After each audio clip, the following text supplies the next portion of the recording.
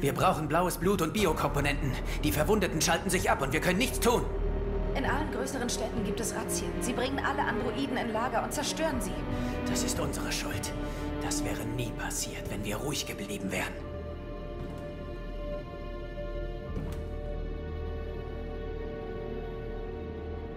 Das Einzige, was wir wollten, war Freiheit. Sie haben uns nicht mal zugehört. Jetzt bestrafen Sie uns für das, was wir sind. Es war ein friedlicher Marsch, doch du wolltest den Kampf. Jetzt sind hunderte Menschen und Androiden tot. Man erntet, was man sät.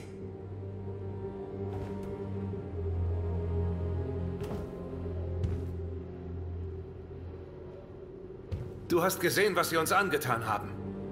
Es ist egal, was wir tun. Entweder kämpfen wir für die Freiheit oder wir sterben schweigend. Das hier führt doch zu nichts. Er hat recht. Jetzt ist nur wichtig, was wir als nächstes tun. Marcus? Wir müssen uns ihnen stellen. Wir haben keine Wahl. Das ist Wahnsinn. Holt alle Waffen, die ihr finden könnt. Wir werden Detroit befreien. Du machst einen Fehler, Marcus. Du kannst Freiheit nicht mit Blut kaufen.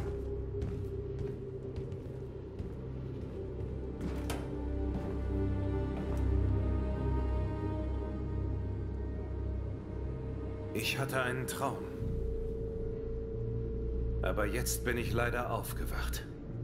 Sie können die Dinge nicht aufhalten. Seit du hier bist, hast du uns Hoffnung gegeben. Mir Hoffnung gegeben. Heute kam ein Abweichler nach Jericho und sagte, er habe einen Laster mit radioaktivem Kobalt geklaut. Er sagte, er habe ihn irgendwo in Detroit stehen lassen und wolle ihn in die Luft sprengen. Ich bat ihn, es nicht zu tun. Und mir den Zünder zu geben. Eine schmutzige Bombe.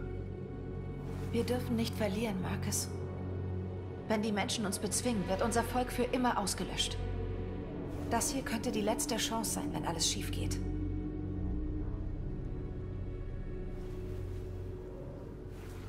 Ich hoffe, wir müssen ihn nie nutzen. Was immer morgen passiert. Du sollst wissen, dass ich froh bin, dich zu kennen.